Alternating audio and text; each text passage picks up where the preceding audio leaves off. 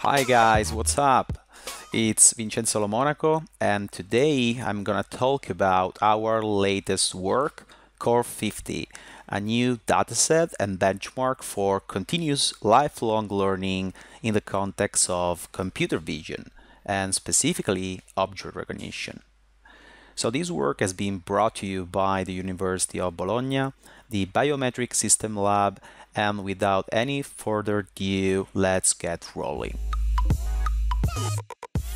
So, as you may know, deep learning holds state-of-the-art performances in many, many tasks, like object detection, object recognition, and image segmentation, and so on and so forth.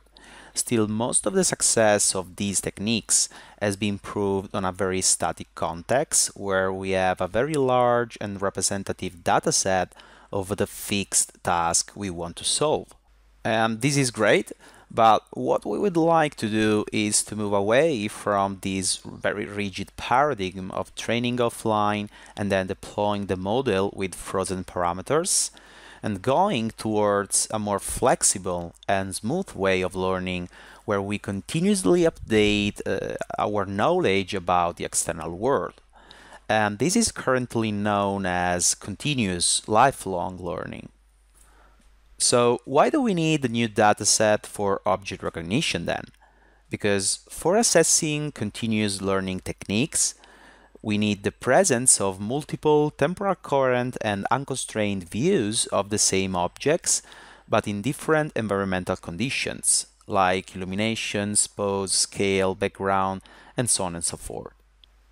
Moreover, you would find it hard to believe, but it's very difficult to find even simple videos of objects smoothly moving in front of the camera. So we decided to collect a new dataset, CORe50, specifically designed for continuous learning with 50 domestic objects belonging to 10 different categories. And as you can see, the environmental conditions here can vary a lot and the temporal continuity can allow us to address a larger number of applications like robotics and many different scenarios dealing with streaming visual perception data. And in this slide, you can see the datasets already available in the literature and how CORe50 can stand out as the dataset with larger number of longer sessions, 11 sessions of 300 frames, and as the only one with the depth information and three outdoor sessions. Now, how can we use this dataset?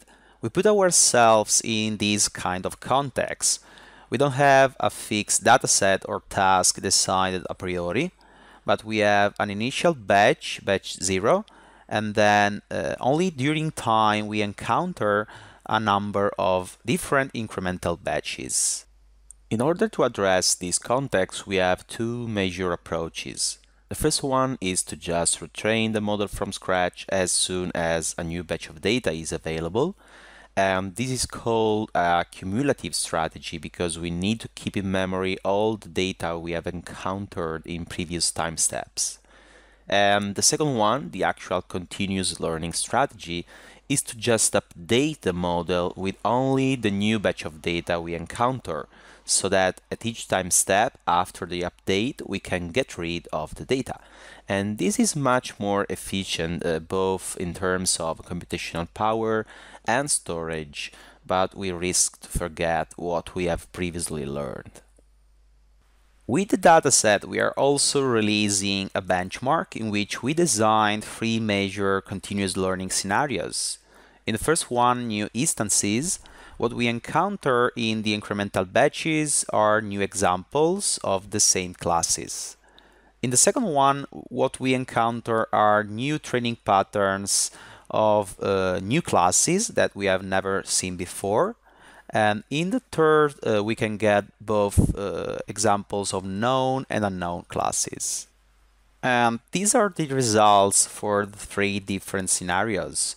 Without going too much into details, uh, you can see that we have a big room for improvements with respect to the blue line, which represents the cumulative strategy, in which we just retrain the model from scratch uh, after each batch.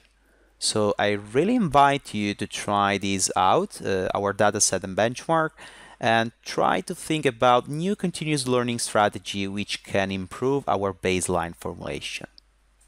So you can find the dataset, the benchmark, the code, the paper, and much more information at the link below, vlomonaco.github.io slash core 50. So thank you very much for your attention. And if you want to ask something, you want to get involved, just write me an email. Bye.